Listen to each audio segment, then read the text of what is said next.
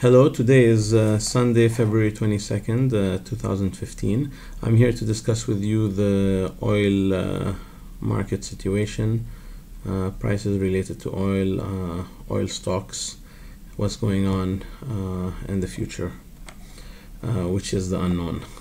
I, I will not make any presumptions to, to knowing it all. First of all, I'd like to address my discussion, if you will, uh, to the typical retail investor and the general public and tell you that you should not be uh, scared uh, by the wild or often wild comments uh, said in the market uh, typically by persons who don't have the right uh, background if you will to make the comments that they do. They try to shock and awe and gain their own uh, personal exposure through doing so. So please disregard these comments. Now, what we must to uh, take into account is that today's economics is very much interlinked with today's politics. Uh, that's a given, whether we like it or not. Um, uh, economically, we have Europe and the US uh, basically, in essence, bankrupt they they keep going through their goodwill, uh, through the fact that the whole world uh, doesn't have a replacement, if you will, to to, to the Western world's uh, uh dominance in the in the economic fields. Plus, of course, needless to say, their uh, political power, if you will, and certainly the U.S. military power. Uh, wars historically, past, present, and future have and will uh, be uh, started uh, in large part for political reasons, uh, for economic reasons, excuse me, under the pretext of political reasons. And this is where we have to be careful. plus, we have the US Federal Reserve, they have the right and the option to print as much money as they want and hence pay off their uh, huge debt which in essence means they're not bankrupt, if you will. Uh, so they are bankrupt in the sense that they are way overextended with huge loans they cannot uh, repay through a normal process.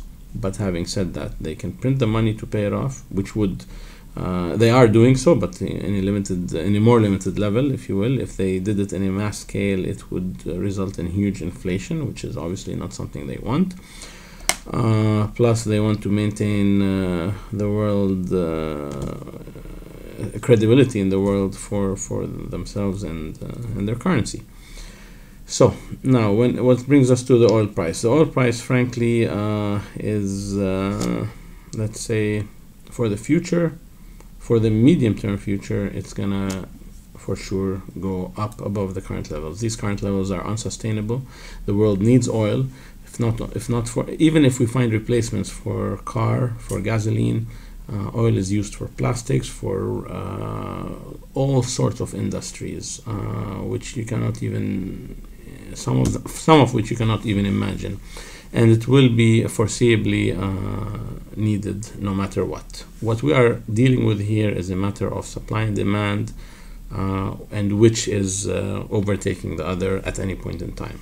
Now fair fair to say that in, in, in let's say the last six months or so, yes, we've had uh, more supply than uh, uh, demand. Demand is, I wouldn't say waning in terms of going down, but also people are not differentiating between the difference of uh, demand going down and the demand growth going down. And in reality, it's more a matter of demand growth going down versus demand itself going down. Demand growth has been going up throughout the years uh, historically that uh, you know that, that, we can look back on.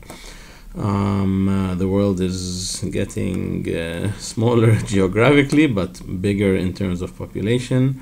More and more people are affluent. More and more people have money to spend, and that needs more cars, more transportation, more plastics, more clothing, more energy, more of everything, and oil is an integral part of that. So, uh, what's happened in the last six months, basically, which created this whole drop of oil? We've had plus or minus a 2% uh, differential between uh, supply and demand, with supply being the greater, if you will. And that resulted in close to 60% uh, decline from the peak to the trough uh, in a very quick manner. That is illogical. For a 2% difference between supply and demand, to have a 60% decline in price is illogical. This is purely politically motivated. So, those who are not leveraged can disregard the political motivation. They sleep on what they have and they look forward to a better future. Please do not keep on uh, assessing how much your value or your portfolio or your investments are worth on a day-to-day basis. Think of it on a long, uh, on a medium to long-term investment, which I would like to think and hope that um, that was the basis on which you entered. Now, for those of you who are leveraged, yes, the matter is, is very different. You have to bear in mind that uh, today we live in a world where the only constant is change and there's huge volatility uh, going on all the time and this is how the game is being played today. You have to be very careful. You have to get yourself out of the of this type of situation and cycle and start to only invest in a more stable manner whether it's for long-term or short-term gain but without the exposure of being leveraged. Start to use your own cash uh, and uh, be happy with what you can make in that regard. At least it'll allow you to sleep well and not worry that you could have the floor swept from under your feet. So, those who are leveraged, uh, you have to be careful. Minimize what you can and hold on to what you can. I can't tell you exactly because I don't know the details of your income, of your positions, etc. You need to take those decisions for yourselves. But uh, do not keep yourself over leveraged and be careful for the short term fluctuations which can and will take place. Uh, now, I don't want to talk about a bottom for oil. Um, I hope that we've seen the bottom, but it could be retested. Um, I don't like these theories of the ten and twenty dollars. These people are, you know, these people who, who throw these figures are really just looking for attention, if you will. Um, uh, it's not to say that it's impossible, but it's not something to be thrown out there, frankly. It's a matter of illogical. It's the same as saying, uh, you know, given a sudden war in the Middle East uh, tomorrow, oil could hit two hundred dollars. Yes, it could is it likely to do so? Hopefully not. So, please take things into context. Do not follow the media too closely. Try to follow those who are uh, with an oil industry background and, and who, who speak uh, for, you know, let's say with a more mature mind rather than for their own personal uh, benefit. And uh, read up on, on your politics because politics and economics are integrated today and foreseeably for the future. So this concludes uh, my first edition of uh, uh, of economics, if you will. Uh, I hope you enjoyed it, and uh, please click on the button to follow me for future. Thank you.